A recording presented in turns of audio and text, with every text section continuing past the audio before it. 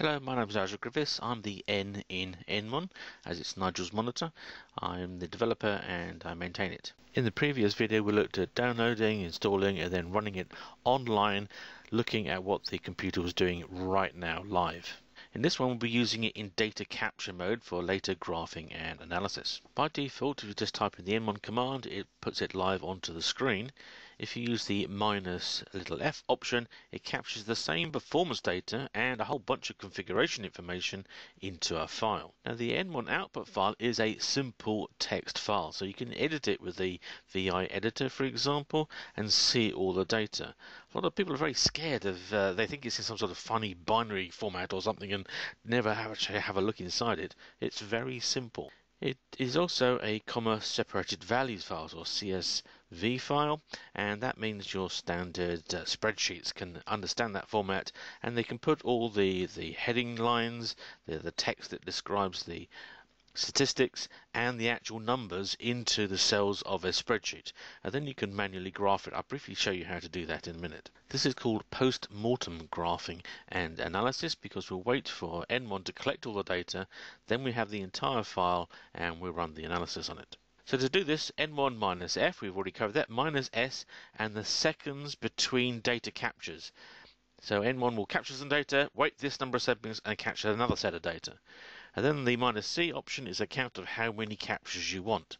So that allows you to determine how often you collect the data and how long you expect this. So what would I recommend for that number of seconds and the count? Well, a detailed graph looks good on a screen. Uh, you need 300 to 600 data captures. I get some Nmon users that create thousands and thousands of data points, um, and then they try and put this onto a screen that only has, you know, 1,000 pixels across, trying to map 18,000 points onto 1000 pixels doesn't work of course you can't have 8 data points per pixel on your screen so keeping it down to this sort of number produces a nice detailed graph without any extra wasted uh, data and file space and processing time of the files the output is in the current directory named like this the host name, the date, and the time. And I've very carefully selected this. So if you have a directory full of Nmon files, then when you list them out, they come out in host name order, so you can find them easily. And then they have the, the date and time in this particular format, uh, so that it actually comes out in date order. I have people writing scripts that uh, decide the output file name of uh, the Nmon files and they make horrendous mistakes like putting the month in alphabetical. Uh, then you'll find um, is it April or August is the first month uh, when you list them out. They come in a completely random order as I, far as I can see. Whereas if you have them in numeric year, month, day order, then when you list the directory out, they all come out in the right order. When you run Nmon, it will actually disconnect from your terminal session. Now, many people think this is crashed and you get back to your uh, prompt, but in actual fact, it's running in the background. It's disconnected itself. It's running like a daemon process. So if you log off or your network uh, has a problem and you get logged off anyway, it will carry on running and collect the data you requested. You can go and see it with a PS command and you'll see Nmon running. So let me give you two examples. Perhaps you have a classical Dolly Parton curve during the day busy 11 o'clock in the morning and 2 o'clock in the afternoon. So you want to capture one of those busy hours to see what's going on. We want to capture for an hour, 60 minutes and 60 seconds. There's number, this number of seconds. And let's go for a 5 second interval and we end up with 720 snapshots. Now that's slightly over the 600, but we, we can deal with that. That'll go in fine. And so we say the time between the snapshots is 5 seconds, 720. We wait for the hour for it to complete that capture and then we have our data to then graph. The second one would be capturing all day. A lot of people just capture it as a matter of course all day long. 24 hours, 60 minutes, 60 seconds. This is the number of, of seconds in a day. And then if we say let's capture at uh, two minute intervals, again we come up with 720. That will graph nicely, so that's a good mix of enough detail and enough data in the file. You may want to automatically do this, of course. So perhaps you put into your cron zero zero. I've got my uh, little aid memoir down here. So this is uh, zero minutes and zero hours. So that's at midnight. And the star star star is every day of the month, every month, every weekday. Then you'll run the nmon file. This is a typical place where people put their nmon binaries. Use a local bin. and then we're going to say minus F, minus T, we'll come to that in a second. Then we have the two minute interval, so that's 120 seconds and 720 captures. And I'm using the minus M option, we'll come to this as well. This is where the output file will actually go. This is my uh, home directory and a directory for Nmon data itself. Now when you use that minus F flag, it switches it into data collection mode and it presets up the basic set of data that we want to collect.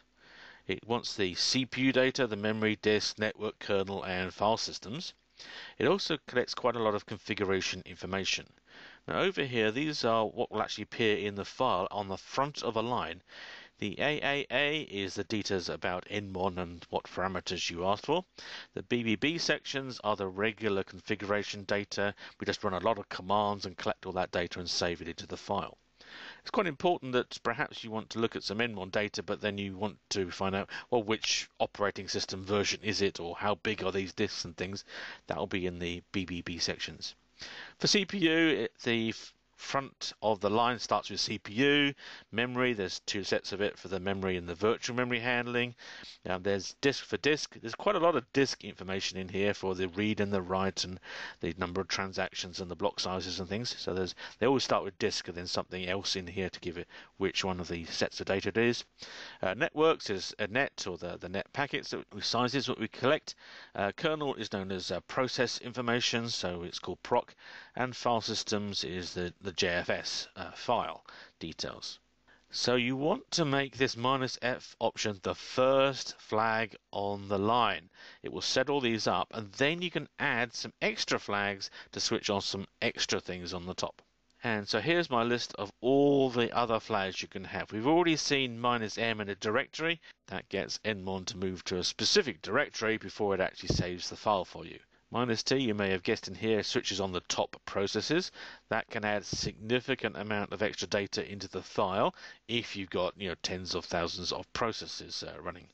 Minus T is the same as stop processes, but it actually saves the command line arguments. That can be useful if, for example, a database, all the um, processes that run on behalf of the database are actually the same command, the same binary. That's good for minimizing the amount of memory you take up, um, but maybe the options, the command line arguments tell you this is the log writer and this is the you know query daemons and all those sorts of things. Minus capital U is uh, new to our Linux version of Nmon. Um, Linux now has 10 utilization stats, so we save all of those. Uh, again, over here you can see what to look for at the start of the line in the file. Minus D, that now includes the disk service times and wait times uh, NFS, as you can imagine, minus N, capital N rather than little n, um, for the NFS stats. Of course, don't switch these things on if you're not actually using NFS, otherwise you'll just get a whole load of blank data. We also have this thing called user-defined disk groups. So people tend to have lots and lots of disks on some systems, maybe silly numbers of disks these days when we should be getting the hardware back in disk subsystems to do a lot of the work for us. Um, but we can redefine our disk so we could say that you know the disks uh, A, B, and C are our database disks, and uh, DEF are index disks, and EFG are for our uh, logging for a database, for example. We can actually group those together, and then Nmon will add up the stats for all those underlying files and tell you how much you're doing for your data, your index, and your log. There's also a new one in here where you can just put auto in here and it will generate the user-defined disk group file for you um, by looking at the output of the ls block command that gives us details of your disks. If you're compiled in and you're using an NVIDIA uh, GPU accelerator, then the minus A option will pull those data in as well, or add it to the common set of data that you get with Nmon anyway. Right, back to my Unix machine. Here's Nmon running um, on the screen. Do Q to quit out of that. It looks exactly the same. And uh, on a Power or Intel machine or a mainframe, whatever. Um, let's uh, collect that data for now now. Minus F, minus seconds, 5 seconds, and minus count of the snapshots, 720. Let's add a few things. Let's do uh, the T for the top processes and the uh, user arguments. And we'll do a U Let's do um, switch on the user defined disk groups and automatically do it. and then we can actually put on the uh, disk service times as well. So we'll just let that run. Okay, so it generated the uh, little auto file uh, for us, and it's off and running. If we ps minus ef grep nmon, we should still find there it is running in the background. And if we list our files, if we list our files, then we should say this is the one that uh, we're actually collecting into. This this file will creep up in size every uh, five seconds, and I've waffled long enough, so we should be able to run that again. And yep, the file's getting a little bit bigger. Now I've got a previous one in here, one I did earlier. That uh, we'll actually go and have a look at that file. It's finished, so um, we can. Well, let's just do a view, so we can't modify accidentally. And in here we have, this is the AA section I was talking about, so this is the Nmon details uh, itself. So here's the actual command, here's the version, uh, it's got 15 disks, a host name, all sorts of things in here. Oh, this is when it was started, 1540, on the 29th of February, so leap year. Okay, um, then further down in here, yep, find down here, we have the BBB section, and um, this column here uh, tells us what command we are running, and this is the output we got from here. Um, so we can see that uh, it's a SUSE Enterprise uh, 12 in here, and uh, other files as well saying the same thing. This is the fdisk minus l uh, command, uh, which tells us about the disks. pretty low-level format. Um, carry on that. Oh, the lsblk command, the high-level view of the disks and the, the partitions. Um, LSCPU, again, we've got lots of information here, goes on and on and on and on about all the things. Nmon actually gets a lot of data from here, so if something goes wrong, it's good to have it here. We can actually see what does the file look like. Oh, this is a, a power-only feature, LS, sorry, the LPAR stat minus I.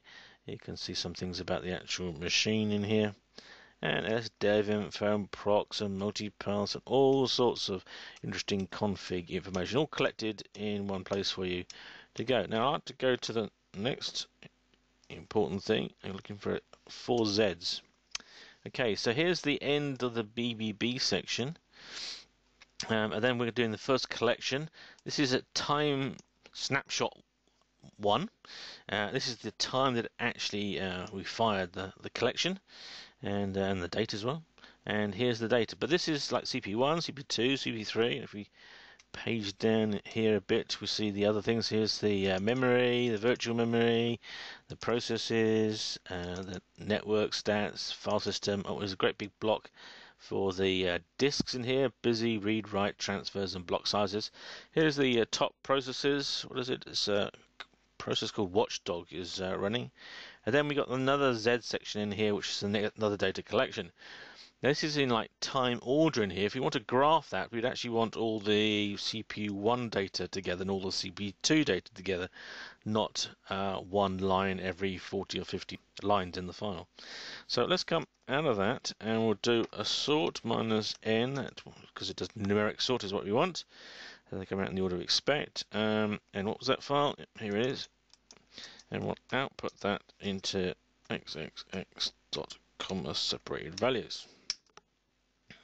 Nmon files are comma separate values, just making it clear that uh, we've actually done a sort operation here. So if we view that file, A's and B's at the top, if we go and find that CPU001, then we have this, uh, this is all the data together now.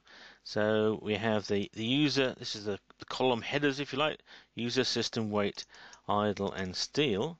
And then time one, you can see the user time was 74%, then at time 2 it was 57%.